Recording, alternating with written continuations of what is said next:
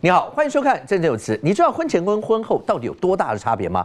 对很多男性朋友来讲，对你一定听过有很多男性朋友抱怨，对婚前每次吃饭都跟小鸡在躲米一样，到了婚后一盆饭摆在前面，搞不好还吃不够。对，那是婚前婚后。可是如果真的你听到女性朋友在讲的话，王子为什么都会变青蛙呢？那婚前我的王子到底到哪里去了？你真的觉得婚前跟婚后夫妻之间会差别这么大吗？到底差别的原因在哪里？那个爱是不在了，还是那个爱还在？只是自己人嘛，何必这么装表面？如果你现在看你的另外一半，你会希望他回到婚前那个样子吗？今天在节目现场为你邀请到对有人夫也有人妻的代表，大家嘛，打开天窗说亮话。婚前、婚后、婚后，你对他到底有哪点不满？一次说出来。如果真的没办法解决，来找我，好不好？那如果能解决，当然最好。那当然不希望你们来找我。OK，来欢迎现场所有来宾。对对对，小呃小小太太经理，那不要来找我，好不好？对对，最多到黄老师那地方聊聊天就可以。那就就很严重了。因为是老朋友，所以可以优待。OK，好，为什么会这样讲？因为你从很多一些社会新闻来看的话，真的都会发现说，难道婚前跟婚后真的会差这么多吗？真的，嗯，人妻深觉被骗婚，结婚五天就出家还离婚呢，对这也太严重了吧？婚姻都啊，婚姻前、婚姻后绝对都会有变，不可能没变。你讲话小心讲太少太少。这对夫妻他们其实交往六年，但这很久了啊对，六年很久哦。六年期间哦，这个男生哦对这个女方是百依百顺 OK 哦，根本就是像龟龟儿子一样。哎，结婚前哦，所有的工作薪水都交给女方。哦哈对，那女方要吃什么，要喝什么，他全部付钱。哦。那同居住在一起，他全部打扫什么、洗衣全都来。那可是问题是，当他们盖下这个那结婚证书的那一刹那起，哎，老公就变了，老公就说，现在开始我们是要共同分担，嗯。对，那所以说有很多事要你要你要做，嗯。那我们的财产也是共有制，嗯。好，OK，就把工作辞了，也不上班了，不但如此，还露露出那种狰狞的面目，开始家暴，才五天而已，就把老婆打出家门，天哪！五天前六年交往的时候，都没事一点都没露出来，都没露出来。哇，那老婆也不甘示弱，好，那你既然这样子，婚后婚前婚后差差太多了，马上东西拎了就跑，然后就互相不再联络。那老公也透过各种方式去找人，问题是找不到。好啦，这时候就收到老婆寄来的离婚这个协议书，嗯，但老公不愿意离，结果老婆跑去哪里呢？跑去庙里出家，嗯，剃了一个大光头，然后穿了一身袈裟。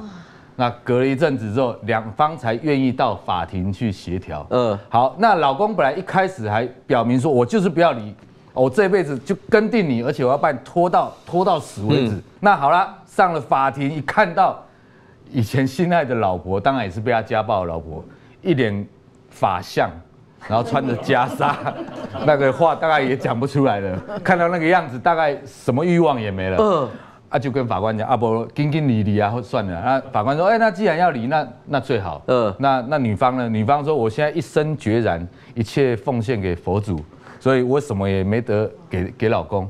那法官好，那就义务赔偿你九千块。来，大家不答应？老公说，管他多少钱，我拿了我就走。OK 所以马上就签，当庭就结束。哇哇是前面六年呢，而且感觉上是生活在一起，然后对薪薪水上缴然后言听必从，你说什么都可以。婚后五天就变成这样，人要隐藏这么久吗？也许他是忍耐那么久吧。他为什么要忍？怎么可能忍那么久对？啊，很难讲。我跟你说，我觉得他们两个人都应该去看心理医师。嗯嗯，而且才五天，结婚后五天翻脸有暴力以后，他就出家，这也很奇怪。对，也不需要做到这种程嗯度，可以表示说这个男的搞不好就是已经忍耐很久，所以终于娶到你了，所以我。我那个原来的面目跑出来了，嗯哼你懂我的意思？我不再演了。是那女的也有可能就认为说，啊，你可以演这么久，然后我被你骗成这样子，我人生还有什么意义？我干脆出家算了。嗯对人性彻底失望。啊所以他们这两个人都应该去看医生了。对，因为刚刚讲说对人性彻底失望，而且五天哦，因为时间太快。嗯我这经经理，行。你你没有办法理解，刚才说六年嘛，我们是交往九年呢，也也是婚后 那个婚前婚后差那么多，我呀们是九年戴先生。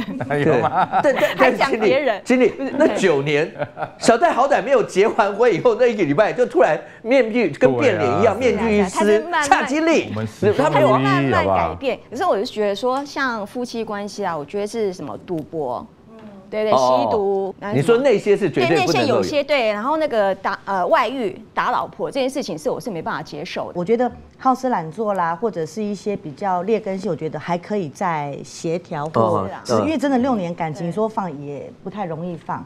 但是我觉得出家这个女生就有点太傻了。我觉得我最近一个新闻大家都知道嘛，其实我觉得闪婚嘛，最好的报复就是活得比他更好，哦，嫁的比他嫁的，比他更好 哦。闪婚二十年都可以找回来了，怕什么？哦，对对对对对，怎 么样？大家都留着二十年的电话号码，对不对？有然后都没有号码，对不对？有有有你们两位这么开心干嘛？尤其夏经理，你老公还在对面。我只能够留那么一只，真可怜。呃，哎一样，小蔡，那你觉得呢？是这个老公为什么会有这么大的转变？应该这样讲哦，得到了，得到之后就整个人心情放松，我看现在就是你的心态哦，现在讲一下就是你的心态。否认，人之常情啊。否认对人之常情嘛。你恋爱的时候就是，你无讲台湾有一句话叫做“哎，没嫁口口”，对，嗯，假料的香草灰嘿，你知道吗？就不稀奇了嘛。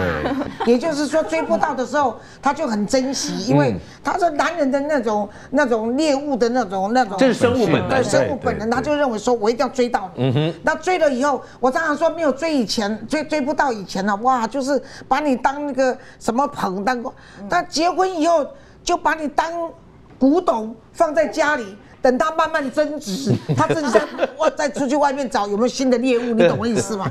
但女人就是她一生都希望浪漫，可是男生认为说，我为了要得到你，我的浪漫是有所目的的，所以我就顺着你，然后照着你的浪漫去走。可是已经得到了，还要浪什么漫？他自己心里都没有办法说服他自己，你知道吗？对我有个朋友就是他太太，我怪他说，你从啊、呃打工的时候追我。就是去存钱买花，到后来呢，就是比较有钱了，当小主管就开始送花，定期送花。那可是你现在等着当了董事长了，我从来没有再想到说你要送我花。他先生说：“哦，你爱花，好，我送。”结果他先生隔天大清早年纪大了，都有去晨跑，就跑到冰山花滨江花市买一大箱。就是一箱的玫瑰花带回来，亲自带回来，跟他太太说你要多少有多少。他太太看到那一箱的花，哇，火就大了，就准备跟他离婚。他要的是浪漫的花，不是一箱的报纸包着那个那个大批发的那个玫瑰花。所以男人跟女人在这个浪漫的认知上还是有差别的。对，这个董事长还算好了，好歹他去滨江花市买来的花，他不是经过一滨的时候，然后经过那边看有一些花就带回来，反正你要花嘛。不是，黄老师刚刚讲一个重点，那个是浪漫的 feel。对老婆要的是那个 feel，对啦可是对老公来讲的话，真的是婚前婚后那个 feel 也不重要了吗？反正到了手了，你觉得你的枕边人是这个样子吗？好，我们让观众朋友来看一下婚前婚后差最大的哪几个地方，你会不会也有这样的一个感受？第一个，婚前慷慨大方，婚后小气巴拉不得了，就是这样的感觉，经历是吗？其实他你们家小戴是吗？对他的小气不是在什么什么我，他的小气不是在金钱上的小气，我觉得那是心态的小气。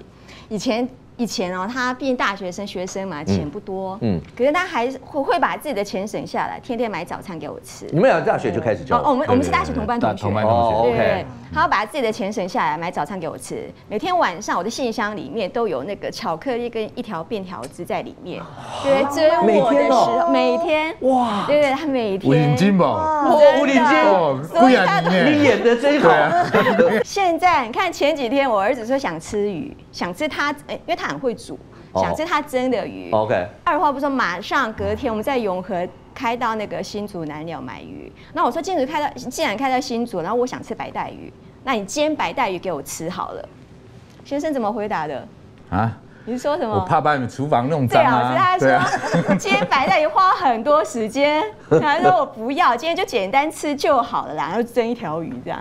我我是完全替他着想有，什么话要答辩吗？因为他不喜欢厨房弄脏，然后每次煮完菜就会被念，所以我我觉得再把厨。房清一下啊。哎，我都有清啊，对嗯，但还是被念了。哦，对可是然后到鱼市场之后就跟我讲说，哎，白带鱼在那要不要买？我就今天跟你说，我说不要，哦 生气了，生气已经了，生气了。对，对，可是小戴，如果要是婚前，嗯呃，今天如果要吃白带鱼，煎白带鱼给他，OK 吗？死都要弄到啊！对，这点很重要，是不是？死都要弄到。好，那问题是，如果要讲说那婚前跟婚后会差不多，刚才经理讲说那个态度的问题、心态的问题，对不对？那是不一样。小戴，那为什么你说是经历反而比较小气？我以前大学的时候就大概那种生活比较自由自在，对我我用我就大学四年就背那种环保袋，嗯。嗯，还有环保袋，然后有也也常常穿拖鞋上学，对，然后他每次看到就是很受不了啊，那所以他他那时候就觉得我很穷嘛，嗯。对，其实不是啦，就反正我就是这样子，那他就会买包包，买很贵的包包给我，然后买很不错的衣服给我穿，嗯。嗯，然后还有不错的这个鞋子啊，运动鞋都给我都 OK。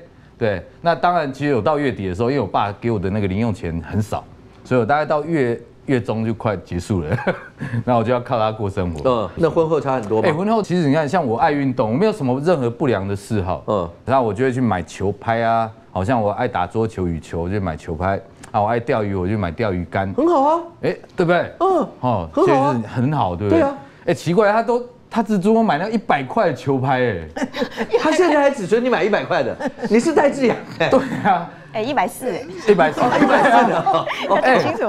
哎，那个怎么打、啊？对啊，对，那对我是侮辱嘛，好歹我还有点实力这样子。对，对，然后那那你有跟他讲吗？啊啊，好歹我戴志扬哎，有哎、他不鸟我。对，在哪位？当然啊，当然我也不鸟他，我后面自己去刷卡了，买了好几千块的球拍。嗯嗯，对对，然后后面我因为爱钓鱼，我就买了好几万块的钓具。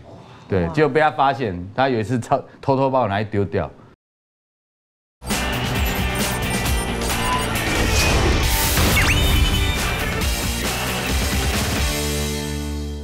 买了好几千块的球拍，嗯。嗯，对对，然后后面我因为爱钓鱼，我就买了好几万块的钓具，对，结果被他发现，他有一次偷偷偷把我拿去丢掉，对，因为在丢的过程中被我鹰眼盯住，我赶快把钓具抢回来，然后藏到分局里面去，哦，你要藏到分局里面去哦。对，出去钓鱼我就直接到开车开到分局去拿钓具，然后再出去钓鱼有。现在知道，原来我们的社会记者基本上蛮好用的，就是连分局都是自己的仓库，可以当晚上不回来之后，我睡在分局。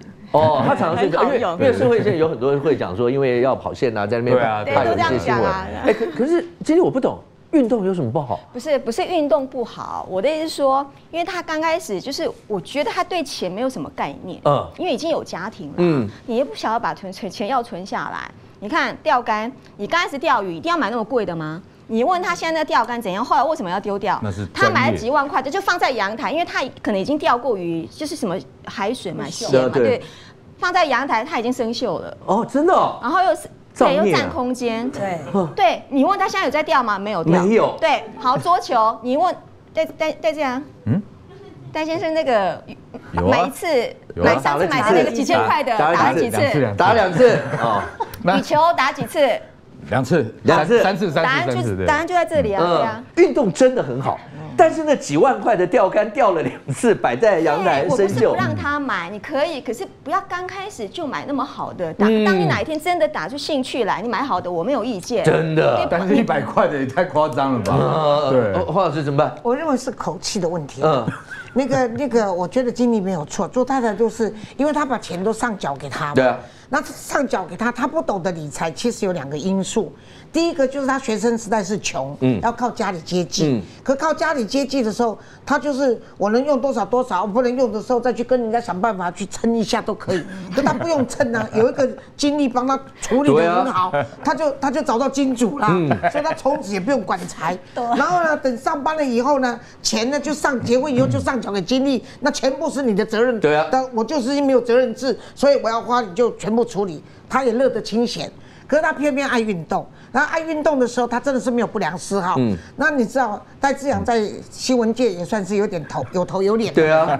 然后呢，你给他那一百一百四，一百四，对啊，哦，他其实是口气的问题了。如果经理有一点耐心跟他讲说。对啦，小戴，我知道你爱运动啊，也很好。像有人去吸毒啊，去喝酒，你都没有嘛。所以，但是我认为说你刚学嘛，那我们从一百四练习起，嗯，都比一百好。还有九十的，我还看到有 老三有八十。对，如果这样子跟他讲一下的话，小戴也许就想说，好了，小戴吃软不吃硬。哦。那至于钓鱼的话呢，他也是可以用这种方法跟他讲说，我们家又不靠你卖卖你钓鱼，然后呢，你也钓不出一个白带给我，对不对？然后然后钓上来的话呢？我们家也搞得很乱，对不对？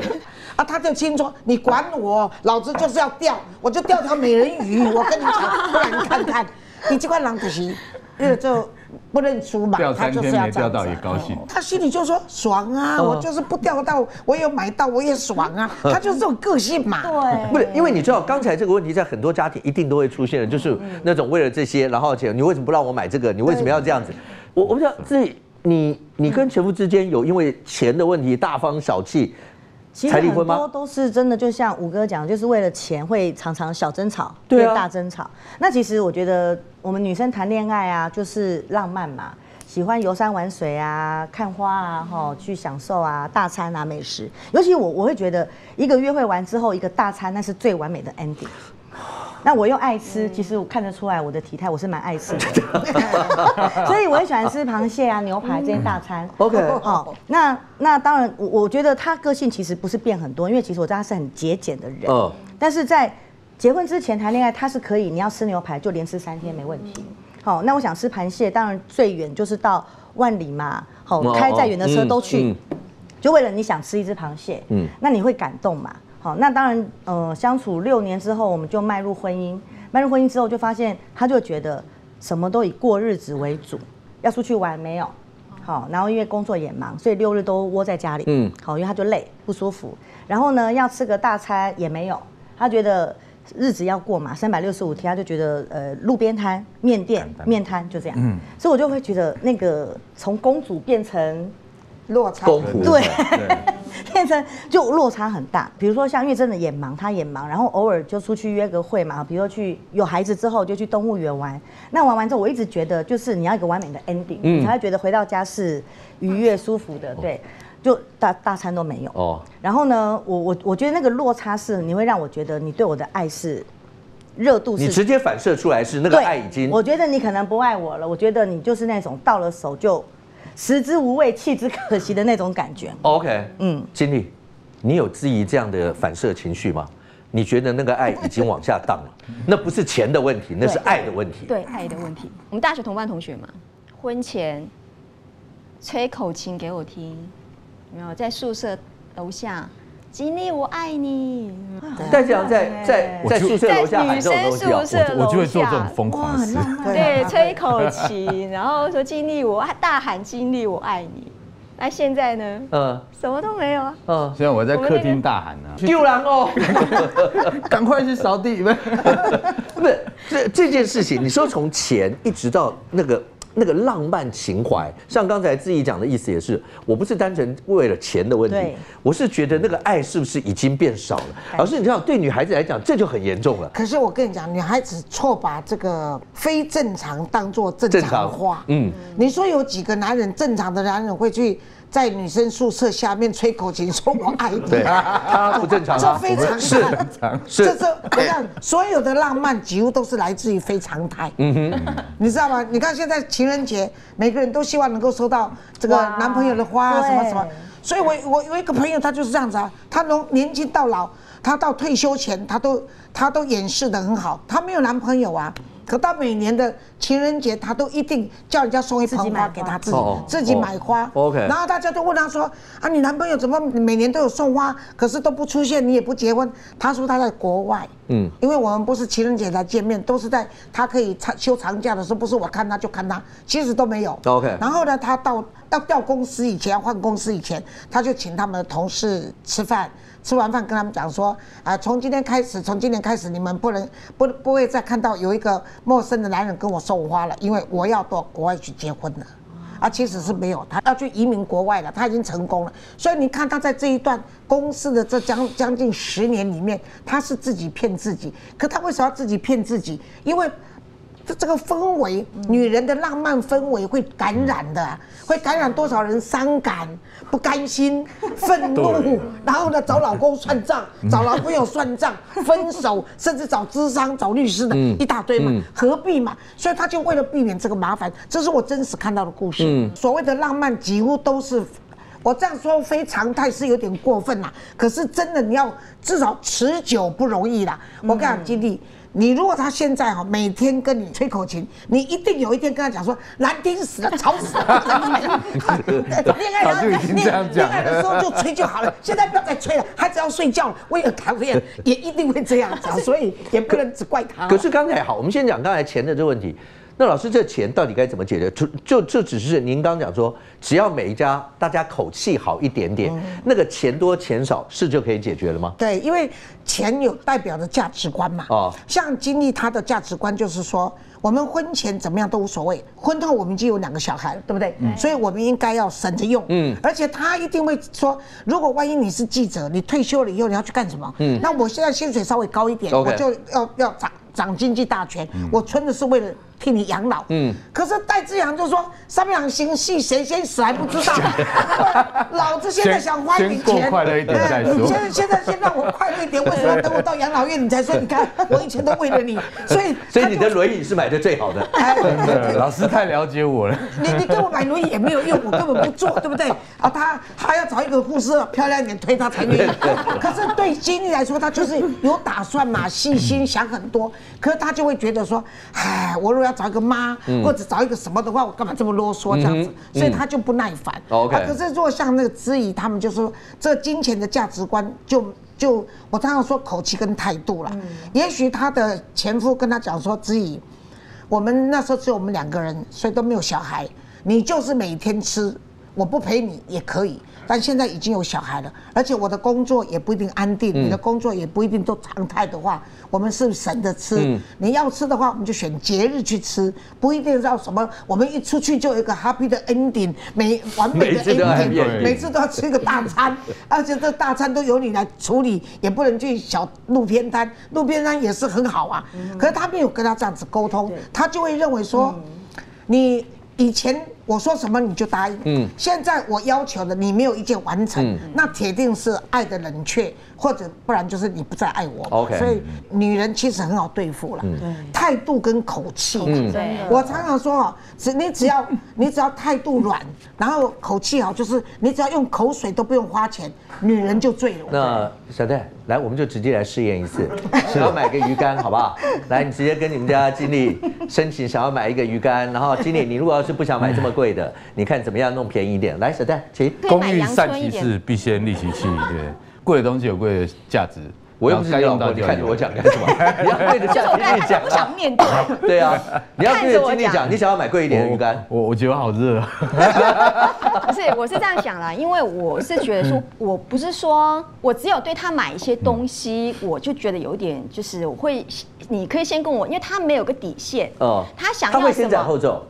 对，他就先买了，或者是要么就不跟我讲，或者是我讲了也没有用。他觉得那个好就是那个东西。OK。所以他每次买东西我就很紧张。嗯。所以我的意思是说，你买没有关系。就像我们的生活不是说好像这样子就什么都省，其实我也不是那种很省的女生。对，大家都有在赚。我说我觉得那个生活品质什么都没有，我不是这种女生。我该给你的也会给你。那再来，就像老师讲的，因为他毕竟是记者嘛。退休之后做什么我也不知道，而且记者压力很，哎，你这个你这句话要听好哦，因为记者生活压力很大。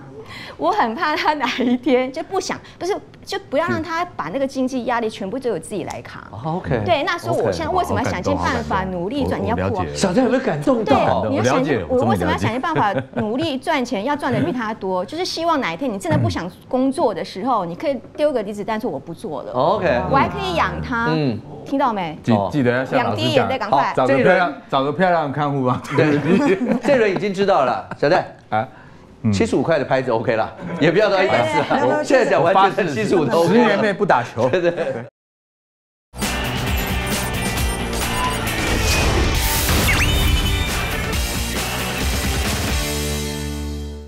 很多老婆绝对都会觉得老公这件事情怪了，感觉上是两个人，婚前超体贴浪漫无比，婚后现实不贴心。譬如经理刚刚讲那个什么吹口琴啦，大喊我爱你，但这样你现在对着对着夏经理大喊我爱你，夏经理我爱你。你看，哦你看多无情的声音。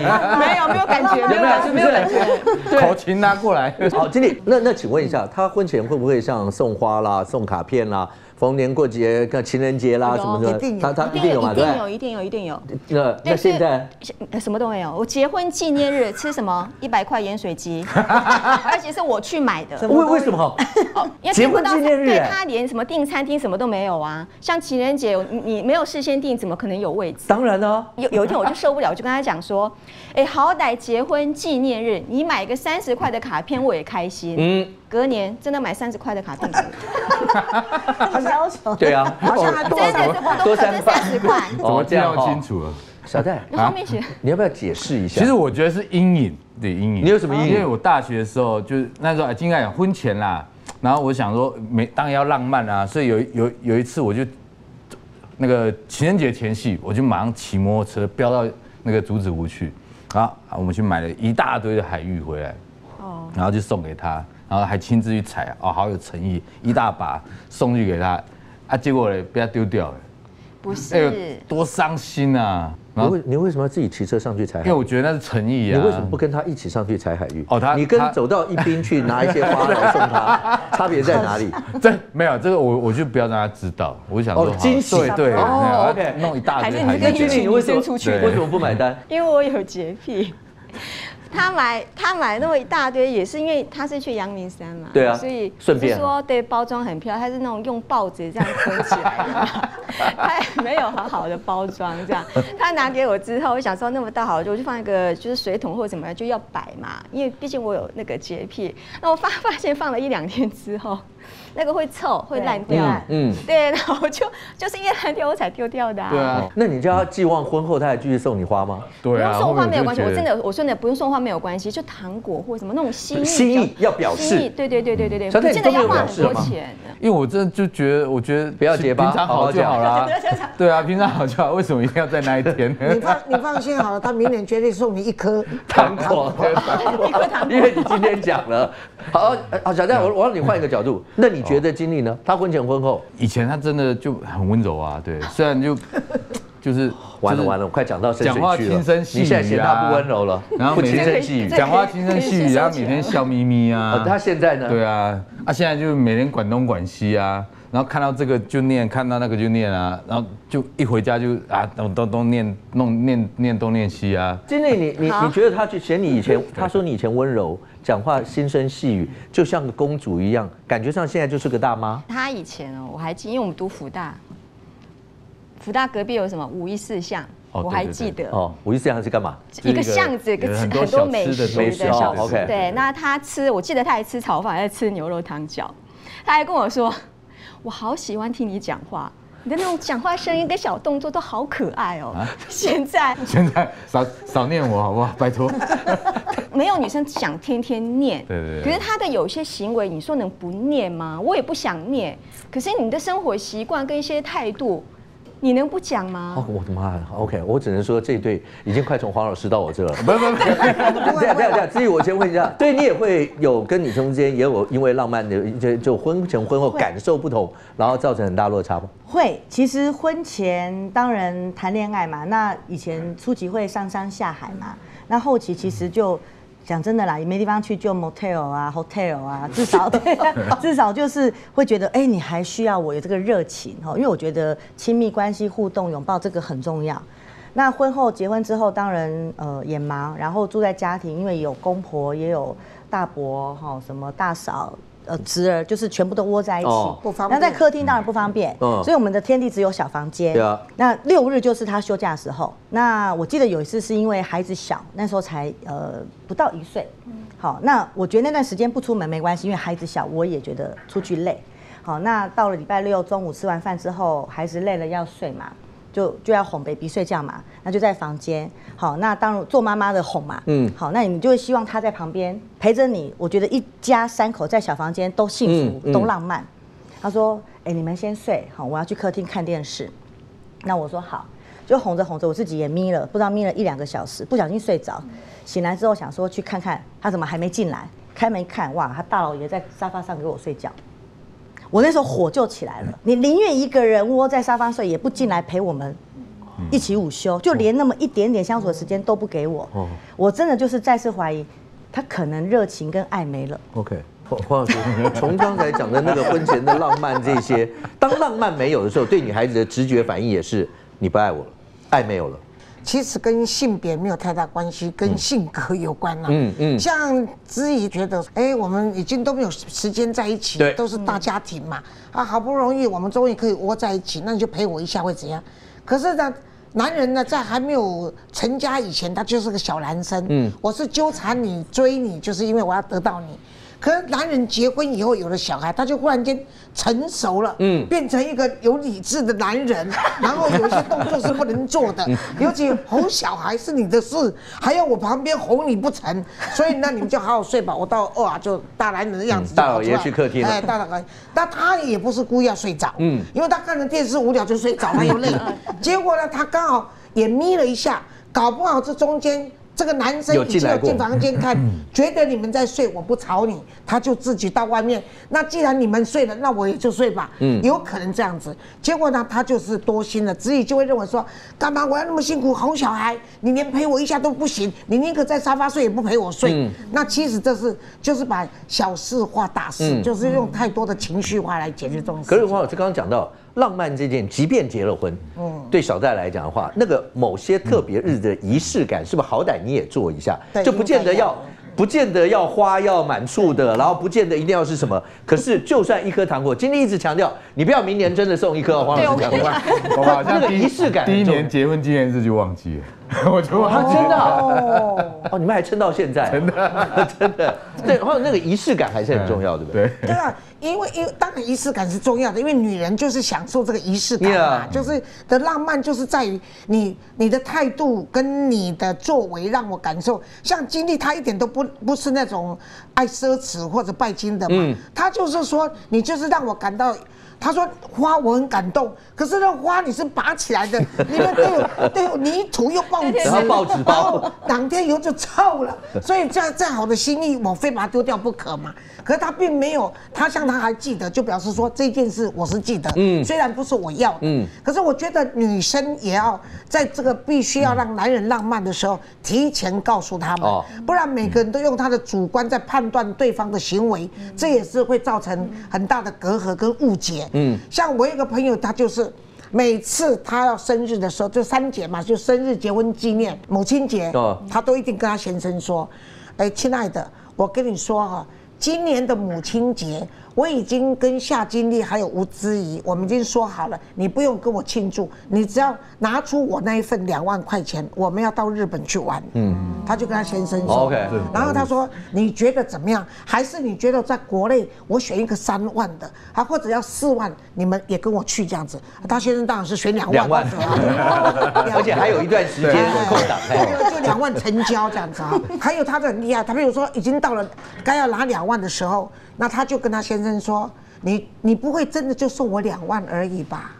啊，还要再买东西，这两万是我们的旅游费，那是旅费，还有旅费，其他那些就看你的诚意好了。啊，他先生就说。”我的诚意哦，我的诚意很难讲。他说好，那你诚意很难讲，我就帮你讲。好，原则上是五万最好，十万也不少。好厉害哦！学起来。啊，他先生就最后包五千给他，在他走的时候就说：“亲爱的，我知道你要五万起跳，但我的能力只有五千最底线。哦，啊，那两万是诚意啊，这两那五千是加红，就说。”夫妻就搞到这样子，就是情趣嘛。啊，他呢，他他再就把那一封信给大家看嘛。所有的女人都学他说，我们都没有，只有两万，什么都没有，你还有五千，你说姐，你说赢了。所以我的意思就是说，男生他不懂这么多，你要告诉他。那像他结婚纪念的时候，他先生就去说，哦，每个人都有买那个珠宝给他太太。今年我决定，我们结婚已经十年，所以我打算去买那个珠宝给你。然后他查一查，好像十十年很小，不知道买什么，就很小而已。他太太跟他讲说：“亲爱的，你要趁我年轻，医生还没有宣布我有乳癌以前呢，你要先给我挂在胸口，不然如果你要等二十年再给我的时候，我如果得到乳癌动手术，我是绝对不会去戴的。嗯，好，所以你要有诚意，就结果他先生真的。”他这个男人就是你给他提示的嘛，但这样可能就是说你哪有那么快找死？我死了以后才会死。他有可能讲这种，他可能讲这种话，你知道？但是他就北那个有可能公安啊。他那个先生就说不会了，不会不会啊这样子啊。他提他拿到讯息了嘛，结果他就去跟他太太说。既然你会考虑到说你将来带跟不带，嗯，那你就自己去选，嗯，然后我买给你。但是有时候女人就说，哼，我不时接来使，还要我自己去看，你就是要给我惊喜。有时候惊喜又吓死你，买的你又不要，对，你又嫌臭，对呀，就就嫌臭。所以后来他这个太太就自己选了一颗，嗯，那他先生就用跟他太太说，因为他也是公务人员，没有说很多钱嘛，他就跟他讲说，我们要贷房贷，所以这一颗钻戒我是要。买好的给你，但是我要用分期付款。啊，他太太就觉得很感动，就是说他愿意每天给他有限，他也是上缴嘛，那薪水都上缴，他说有限，他要去节省他的便当啊、交际啊什么的，就很感动，就会常常拿出来说：“哎，你们知道我老公给我这颗钻戒是用分期付款。”每个人听完他故事都说：“哦，如果是这一颗可以分期付款，我跟你讲，我让他分期二十年都没有关系。”所以女人在乎的那个浪漫，你在乎，可是你要让男人知道。你要什么？很多女人要男人猜，男人是猜不着。好，那经理，请问一下，你们两个人不管是结婚纪念日，或是你的生日，这些最快来到的大概会是在什么时候？生日，生日，你的生日嘛，哈，小戴。啊，要不要在镜头前面告诉大家，今年经历的生日 有没有什么样的一些？我一定写个小纸条给你，保证有惊喜。好，没关系。我们看纸条内容。好，对对。经理，我们下面再来安排一大概不会只有让大家知道，大概不会只有五千而已。我大概会多个一千呢。哦，这样。哦哦，想在票出，我没有给你机会。OK。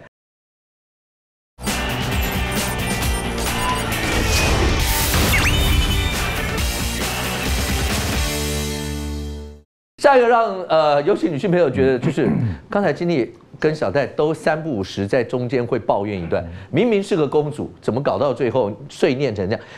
小小戴真的有这么严重吗？可是刚才听你讲说，你们读书的时候，他超你，你说你超喜欢听他讲话啊？对啊，所以我觉得我一直希望他那个形象维持在我心目中。我 真的觉得婚后完全不一样哎，哎，真什么都要念哎，对，真的不是那是你的刷个牙哦，那个不小心那种泡泡。一滴，我这我眼睛真的看不到，就滴在那个 那个镜子上，它可以念好几年。对，我可以把，我有证据哎。然后我把书啊，我只是把书放在书桌上，书桌上，书上书桌上有什么？对，不，但是它要放在书架上要排好。书架，书是放在书架，不是书桌上。然后铅笔哦，笔哦放在书桌上。也不行，也不行。铅笔是要放在笔筒上，它要对，它要对线要对好。对，线 为什么一定要对好？我觉得只是整整齐齐，你的心就很正。对，对，他说他说笔棒放不好，人就心术不正。对，鞋子也要放好才走正常的。看我皮夹哦，哎，那个钞票没有同一面这样放，钞票要摆同一面，对，这样才可以爱惜钱，才会赚到钱。怎么了？我也是自养一跳。我我有很过分吗？黄老师，你告诉我这日子怎么过下去？就无聊，不觉得很无聊吗？过了两个生了两个小孩了，对啊，所以他真的不简单呐。对啊，所以所以我每次我都会及时踩刹车，我就这样，好好停，现在停，来，我我们赌赌一下，如果可以三天内哦，你不要为这种事情念我。我就给你五千块现金。哦，对啊，他们他们很夸张，他我们全家人玩游戏打赌，就输的人要听前面就三另外三个人的话，他们三个人就说，如果我是最后一名，就是三天叫我不要开口讲话。对，不是没有那么夸张，不是开口讲，就不要再念这种小事情。对，连女儿都站在他这边了。哎，对对对对对，嗯，强我可以投票吗？我也投其实我也想，我也投票。我们对啊，其实我也受不了哎，因为。因为呃，我我本来就是很粗心大意的人。你比较呃呃粗心大意。那其实老实说啦，我自己也也刚刚听完也总结一下，我婚后其实因为婚前都打扮漂漂亮嘛，啊，其实我不太会整理家务，所以我的家也是乱七八糟的。互相了，我觉得两个人。所以这件事情也会造成你跟你前夫之间也会有一些局域，或是呃，其实这我蛮感谢他，他其实倒没有没有去嫌我，或者是去念这件事情。嗯，对，就是其实在家因为是千金，那其实我公婆跟呃我先生那时候其实是也没有刻意去去去指责或者去纠正这件事情。OK，但我会觉得说。可能没有在娘家那么舒服，像公主千金，所以其实是我觉得那时候我年纪，我二十四岁就结婚了。哦，OK。所以我觉得是那时候真的是自己也不懂事。但听完他们这一对之后，我发现，嗯，其实是其实是我老婆自己，其实我老婆不了解。我真的，我我跟她解释过很多次哦，就因为她也在上班，然后她也忙，对，那我都说哦，你回家就休息。就是那种打扫这件事，一个礼拜扫一次就好，好不要天天。可是他刚才说他有洁癖，对，其实我觉得他那个不是洁癖啦，因为我觉得洁癖是是很严重，他还不至于严重。他刚前面的那些规矩还不算吗？那个这个快到强迫症了，那个强迫症。对对我都想问金丽说，我这样做的姿势可以吗？真的，或是我我这个指这样摆 OK 吗？你那如果说你平常一到六的话，你只要看哪边有小乱，你就花个十分钟整理一下就好了。对啊，但是他都。不行，他都要不是因为我们家的乱来自于这位先生哦，真的吗？这样就是垃圾桶在这里，那为什么垃圾要放在垃圾桶的旁边？呃，对呀，对不对？为什么？然后这个我们的托盘、餐盘、那个水杯都在这里，那为什么的水杯永远都是在他的旁边？哦，对啊，为什么？为什么？对，你眼睛斜视吗？为什么一定要这样呢？方便就好了。而且我是觉得说，因为我我认为的休闲啦，休息，因为放回下班回到家，我是希望就是轻轻松松嘛，就没有就是。好好的休息，可是你看到回到家是乱七八糟的，你觉得可以放松吗？我没有办法。我们家的乱是我们所有的朋友来我们家之后说，哦，也，要求我们家怎么可以整齐到这种？我光听刚才讲那段，我完全可以想象。真的，我们如果没有必要，我们不到你们家做。嘿，都说哦，你们家怎么可以整齐到这种？我我说哈，有人说超乱呢。对对对对对，经理，你你看啊，因为你自己也希望家里面要整洁，像这个样子。可是你做起来的时候，有有时候会不会做的时候又会，就就是带字阳，你有必要要这样吗？这个什么什么什么，就是你会一边念，一边念一边做，然后一边那个又一边闲，然后反而他们又觉得说，那你干嘛要做？我也不觉得有这么麻烦，你干嘛搞成这样？对，每天就是这样这样。我每次他说什么刚没就是没讲，他刷牙什么一滴什么看不到，那哪是看不到？我我视力我近视眼，我都没有戴隐形眼就看得很清楚。我真的看不到。我有一天就发现说，为什么会刷牙可以把那个喷的一点一点对泡泡会在镜子上？因为我发现我有一天就看他为什么会发生这种事情，因为他有骨刺，他脖子有骨刺，所以我发现他早上起床的时候是没办法立正站好在那边刷牙，他是手扶着那个墙壁，那镜子就离镜子近嘛。所以整个就会喷到，对，喷到没有关系，那你要自己清啊。那你要想想下一位嘛。他不止有骨刺，他眼睛也不好。对对对对。那那可是你们如果出门或什么的话，好歹啦。你说从前面到到现在，他会帮忙搭手拿东西，那或什么什么的，他这个会帮忙吧？被我骂过之后会了。哦，可是那个大海，我觉得比较介意的是下雨天。嗯。有一天我跟我儿子的同学的就几个家庭一起出去吃完饭，哎，刚好下雨。其他家庭的老公、爸爸都已经跑去车上拿伞了，只有我老公。下雨，赶快一二三，我喊三，赶快跑，一二三跑。他讲一二三的时候，我觉得好吧，那我就跑吧。那时候还开开心心的，对我们四个四个人跟小孩子，四个人好像很开心的到车上之后，我还觉得我还没有什么感觉哦。直到有一天，我每次出来玩，回到家车子停好之后，都是派我去买晚餐。嗯，好，我去，我去买晚餐。然后那时候我记得那天我是在超商，他们知道我要去超商买东西，然后我出来的时候已经在下大雨了，是不是？因为他们知道我在超市、超商，对，那是不是一定要拿雨伞出来接我？对，没错，没有，我就回到家我就生气了，外面下雨，竟然没有一个人拿雨伞给我。那他就说：“经理，你错了，因为你没有听到他们三个在车上说‘一二三，快跑’，你没听到对不对？我们正在家里玩。对，然后他就跟我儿子说：‘你看吧，我刚才叫你拿雨伞给你妈妈，你都没有拿。’我儿子说：‘你哪有讲？’ 他还推荐给小孩。对，哎，我真的不知道有这件事，哎，你看真的，他就没有哇塞，哇，这个是最高境界，是真的很很像，就是完全失忆。对，其实我不是说我淋到雨我会不开心或者这样，其实我的意思是说，你以你在小孩面前做了这样的示范，我跟你讲，以后老了之后你去淋雨，小孩子不会拿雨伞给你。哎呀，这句话这个严重，真的，我觉得小孩子看着父母亲长大，他觉得爸爸妈妈淋雨好像也无所谓，那以后也没有，那我为什么要过情人节、生日那些东西？其实我也无所谓，可是小孩子会觉得说，哎，生日妈妈生日，爸爸也没生表示啊，表示妈妈不重视啊，那我也没有啊。我错了，我错了，从今年生日开始，不要说从今，从明天开始哦。OK，这是两点啊，就抓我把戏啊，他都抓完戏也不做，所以我们要盯着他紧一点。对对对，会会。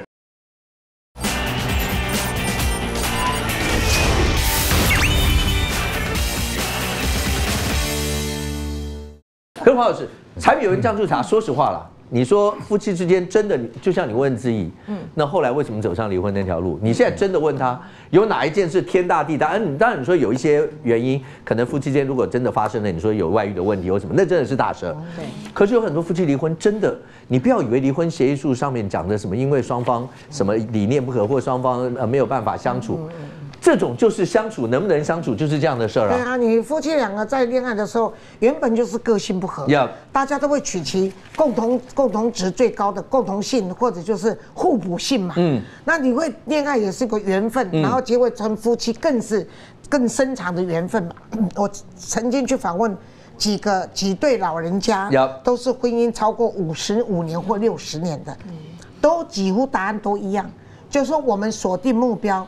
就是希望将来孩子结婚的时候，我跟他可以一起站在这个证婚台上做目标，嗯。其他都是小事，嗯。忍忍就忍，能过去就过去。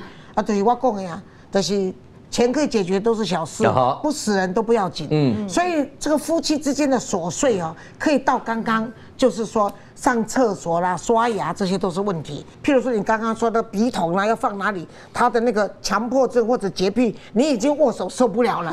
可是可是戴志阳就引以为荣啊，就说你们要比妻子贤惠干净的，请到我家来看。啊他虽然背后下去配啊，但是他这当面也很有面子。可是经历一开始就说我们结婚以后。你的记者的工作生涯，嗯，我很担心，嗯，那我们孩子要大以外，我希望能够照顾你到老，所以钱我是为你而准备的，这也是让戴志阳感动的地方，对啊，对。啊，嗯，啊，夫妻就是这样子啊，对啊，其实很多表面嘴巴讲出来的时候，你看讲的呲牙咧嘴型，其实刚刚黄老讲那个感动在心里，有很多都是这个样。其实对，呃，婚姻到底会不会是爱情的坟墓？说实话。那每个人如人饮水，冷暖自知，一定是这样。但是婚姻就是柴米油盐酱醋茶，对，能不能在这里面找到夫妻的相处之道？刚才现场来宾已经帮你们做最好的一些的示范。那只是经理，请问一下，我这样的坐姿真的可以吗？超帅，超帅，可以吗？好，哦，OK。那看来，呃，再问一下，你刚刚讲的生日说的那些，大概在几月份？六月。六月份。到了。到了六月份以后，我们会在节目里面告诉你，戴志阳到底那个纸条。做了什么样一些的表示？那黄老师就可以告诉大家经历后面该怎么做。OK，非常谢谢所有来宾，也非常谢谢观众朋友收看《正正直》，我们下次见，拜拜。